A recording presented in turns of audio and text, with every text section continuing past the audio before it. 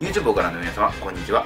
えー今回はですね平成28年光学機器ナンバーワン決定戦ということで光学機器のジャンルごとにそれぞれドットサイトとスコープということでご紹介していきたいと思います。各項目ごとに一つ僕の手元に残ったものがナンバーワンということでまあ平成28年版ということで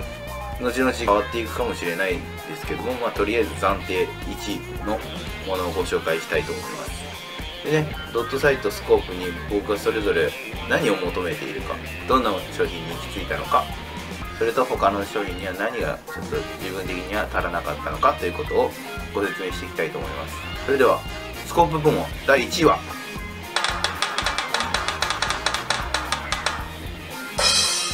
リーパーズ1から4倍アキュショットですかね。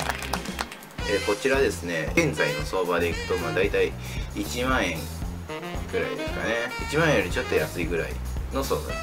まあ僕が最初に買った時は、えー1万1000円ぐらいですね。まずですねスコープを買おうとなった時に、まあ、ネットで Amazon で調べてで一番評価が良かったのが、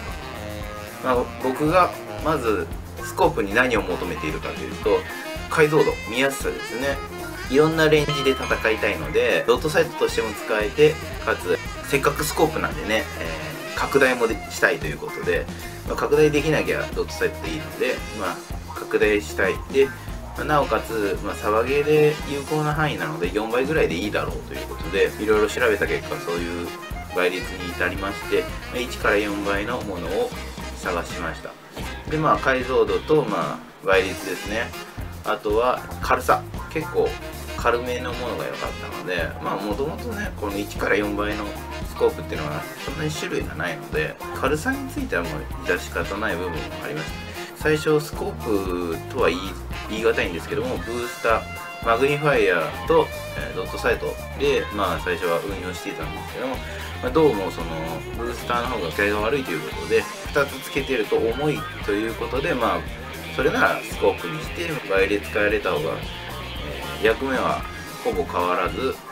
でまあ見やすければそれで。で軽くなって見やすければそれでいいだろうということで、まあ、探した結果。で最初に行き当たったのがこれでした。でねスコープ部門でいくと他にも僕が行き当たったパターンが4種類ありまして、まあ、先ほどご説明したハイブリッドサイハイブリッドですね、えードットサイドの後ろにブースターをつけるパターンだと、えーちょっとブースターのそもそも視界が暗いのと見づらいということで。でまあ販売固定が多いんですけどブースターアイリリーフっていうのがありまして。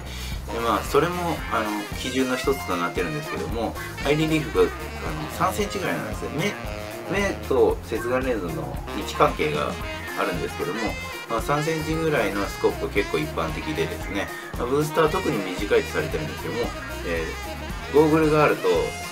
さらにそのアイリリーフ取れる距離が限られてきますよね。でブースターはもう結構ギリギリまで近づかないと見えないんですけどもでさらにまあ中でその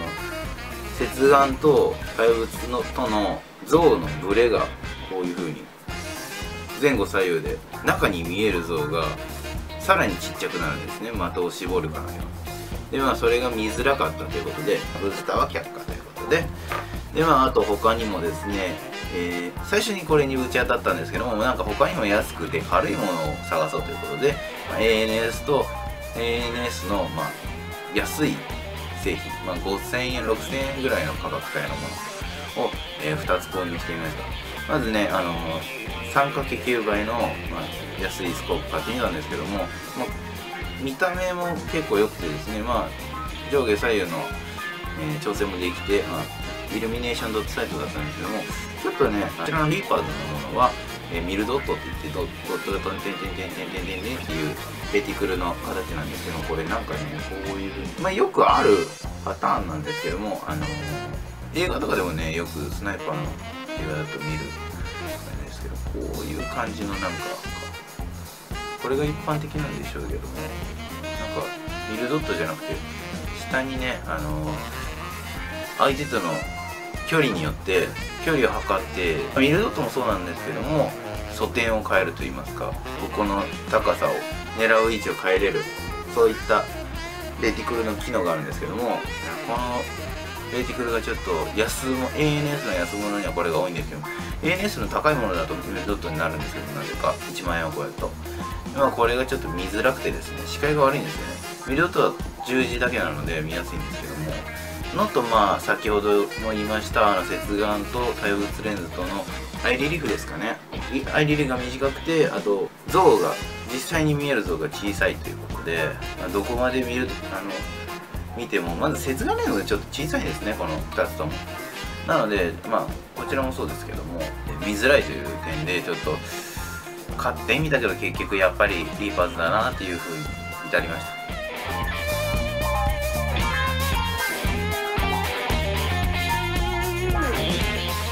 2.5も一緒で、まあ、これあの一番軽いんですよ。軽いので買ってみたんですで固定倍率で2.5なんで倍率がない分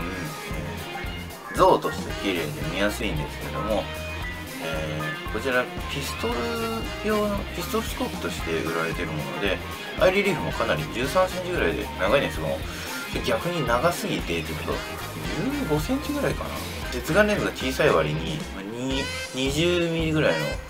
確か接眼レンズだったんですけども割にちょっと遠いので結局なんか見づらいなっていう感じでしたね。でまあ2.5倍固定なので、まあ、ドットサイトとしてもちょっと使いづらいですし倍率が中途半端なので結局使いづらかったですね。で対して同じ価格帯の、まあ、1万円ちょっとぐらいの、えー、ノーベルアームズの 1224IR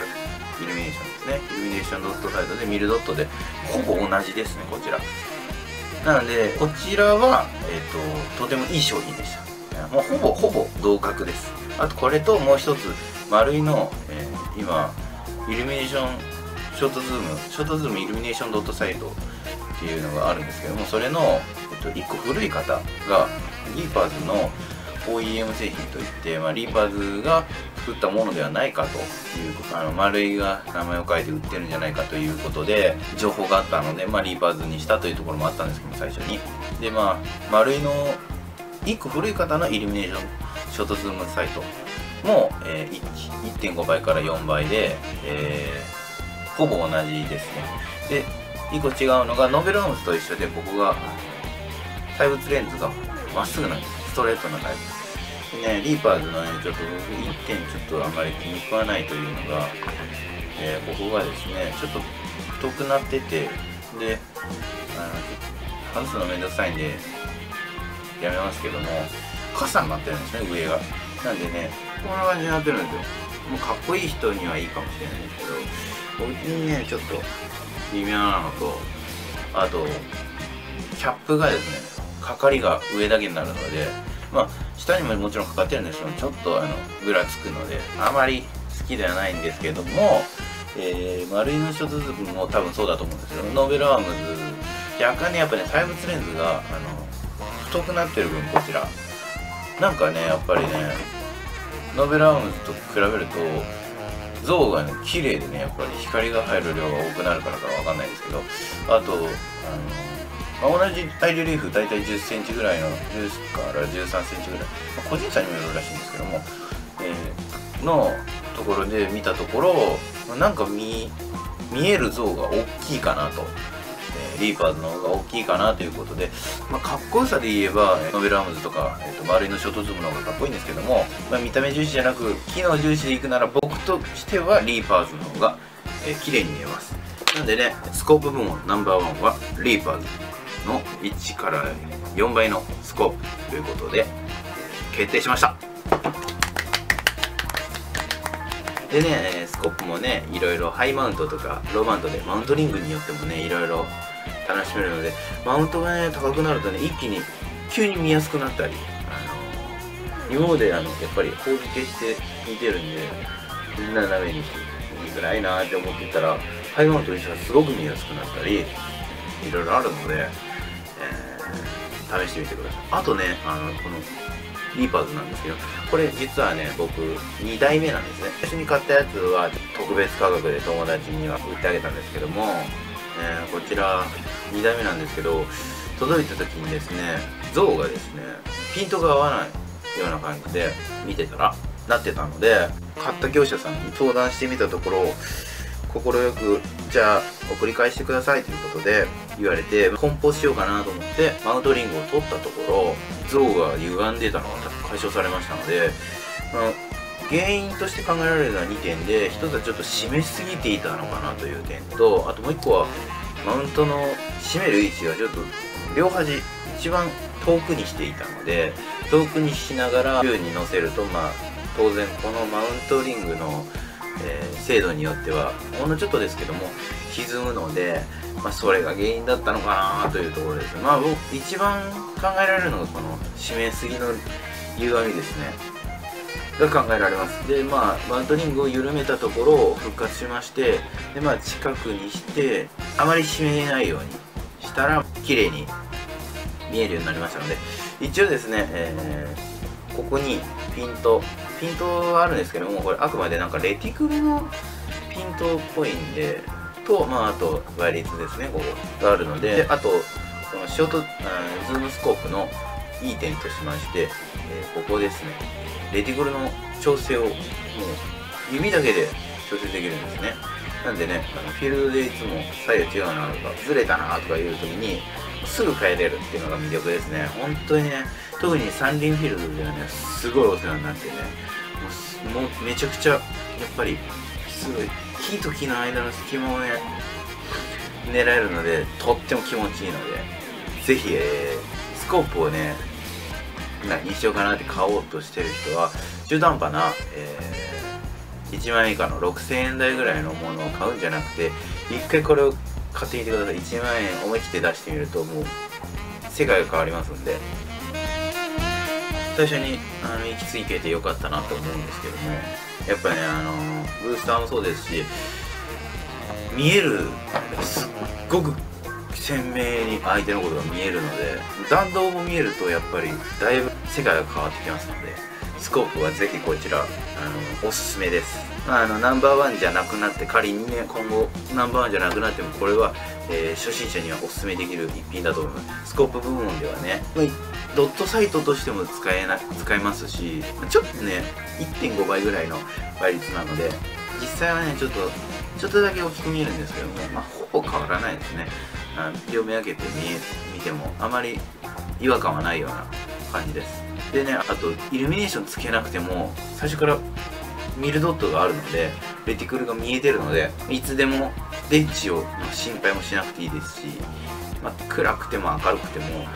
ドットある程度見えてるのでまあねそういった点でもね僕は一時期はドットサイトの代わりとしても使ってます。すいません、えー、補足です。スコープですけども対物レンズの方にレンズを入れてます。こちらねちょっといろいろ試したんですけどスコープシールドってスコープの前にこれ折りたためるなんかシールドを置いたりもできるんですけど、まあ、スコープを被弾から守ると1万円もするんでねちょっと被弾でレンズ割れちゃったって言ったらなんかすごいしょげるのでいろいろ試してたんです。フィルフラッシュもつけたことありますしスコープシールドもつけたことあるんですけどまあいろいろ試した結果このここにシールドを直接はめ込む形になりました。でねまあこれはまた後日ね別動画で詳しく作り方ということでねご紹介していきますのでお楽しみにしていてください。それではスコープ部門のナンバーワンご紹介を終わりたいと思います。最後までご視聴ありがとうございました。長々と最後まで見ていただきありがとうございました。是非こちらチャンネル登録の方もよろしくお願いします。では最後までご視聴ありがとうございました。